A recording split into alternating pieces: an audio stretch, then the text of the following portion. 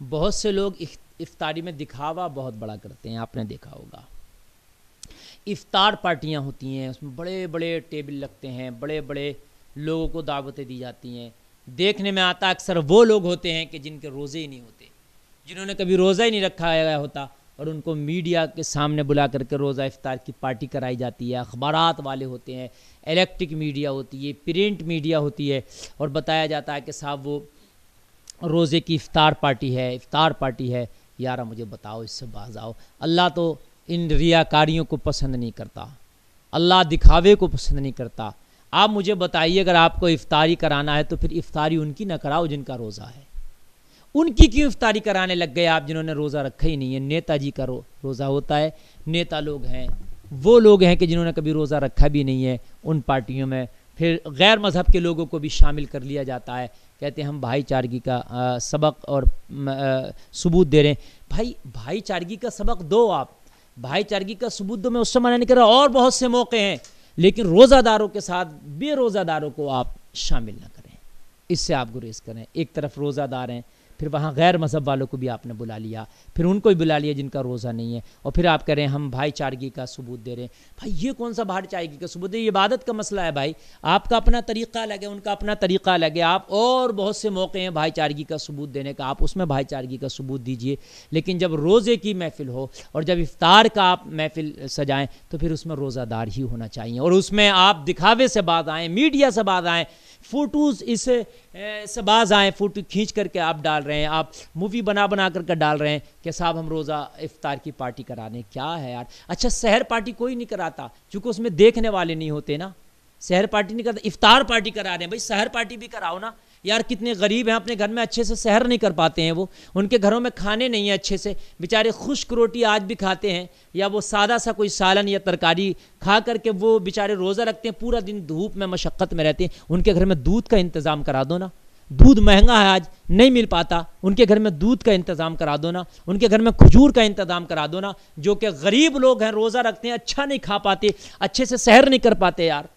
कितनी फैमिलीज़ ऐसी हैं कि बेचारी आज भी सादा खाना खाकर, बहुत हल्का सा खाना खाकर, क्योंकि नहीं है उनके घर पर, और वो बेचारे रोजा रखते हैं। और आप उन अमीरों की पार्टियाँ करा रहे होते हैं, जिन पर घर पर खाने के अंबार लगे हैं। उन अमीरों की आप पार्टियाँ करा रहे होते हैं कि जिन्होंने रोजा नहीं रखा होता है। उनकी आप पार्टियाँ करा रहे होते हैं जिनका इस रोज़े वाले मज़हब से कोई ताल्लुक नहीं है। खुदारा बाज आओ इन दिखावों से यार। अल्लाह दिखावे को पसंद नहीं फरमाता है। मुँह पे मार दी जाएँगी तुम्हारी ये इफ्तार पार्टियाँ मैदान मैशर में। किस काम की हैं इफ्तार पार्टियाँ? यार, अगर तुम्हें रोजादार पर जरा भी तरस खाते हो, जरा भी तुम्हें उनका दर्द है तो आप देखो हिसाब लगाओ कौन है हमारी बस्ती और रिश्तेदार हमारे आस पड़ोस में कि जो रोजा रखता है सही से सहर नहीं कर पाता है। खाली इफ्तारी पार्टी नहीं कराना है। यार, शहर भी तो करा दे। आज दूध बड़ा महँगा है। आप दूध का इंतज़ाम कराओ, किसी के घर में खजूर का इंतज़ाम कराओ। है ना? अच्छे सालन का इंतज़ाम करा दो। अच्छे खाने का इंतज़ाम करा दो। उसके घर में कुछ फ्रूट्स का इंतज़ाम करा दो। फिर उसके घर में इफ्तार का भी इंतज़ाम करा दो। ज़रूरी नहीं है कि कहीं सड़क या कहीं रोड या मैदान पर इफ्तार पार्टी कराएँगे, तभी कबूल होगी। नहीं आप खामोशी के साथ घरों में भी इफ्तार का सामान भिजा सकते हैं। आप कच्चा राशन भी भिजा सकते हैं ताकि वो पका पका के कई दिन तक खा सकें। आप खजूर के पैकेट भी भिजा सकते हैं। आप रोज़ाना किसी के घरों में दूध भी भिजा सकते हैं। आप चावल, आटा, सब्ज़ियाँ, तरकारियाँ, ये सब भी भिजा सकते हैं। गोश्त का इंतज़ाम भी करा सकते हैं आप। हजरात, सबको तो नहीं चिकन खाने मिलता ना? रमज़ान शरीफ में भी आप उनके घर में इंतज़ाम करा सकते हैं। तो ये सारे तरीक़े हैं कि आप जो है अपने गरीब भाइयों की मदद कर सकते हैं। उनके रोज़े में उनकी मदद करना चाहते हैं तो फिर इन दिखावों से बचें। खुदारा खुदारा इन दिखावों से बचें।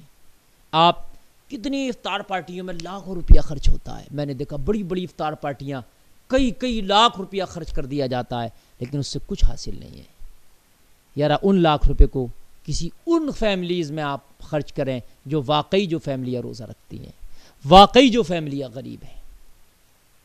उनके घरों में आप वो राशन पहुंचवा दें, उनके घरों में वो खाना और पानी भिजवा दें कि जिनको ज़रूरत है इसकी।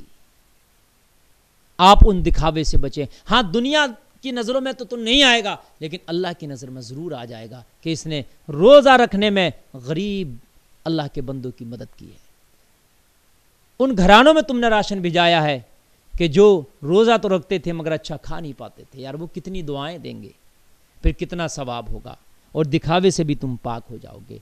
हजरात, मैं गुजारिश करूँगा कि इस रमज़ानुल मुबारक के मुक़दस महीने में भी आप लोग हिसाब लगाएँ कि हमारे आस पास में, हमारे पड़ोस में हमारे करीब में, हमारी रिश्तेदारी में कौन है कि जो रोज़ा तो रखते हैं लेकिन अच्छा खा नहीं पाते हैं?